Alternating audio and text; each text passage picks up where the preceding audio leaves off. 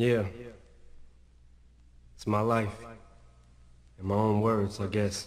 Have you ever loved someone so much you giving on for? Not the expression, no,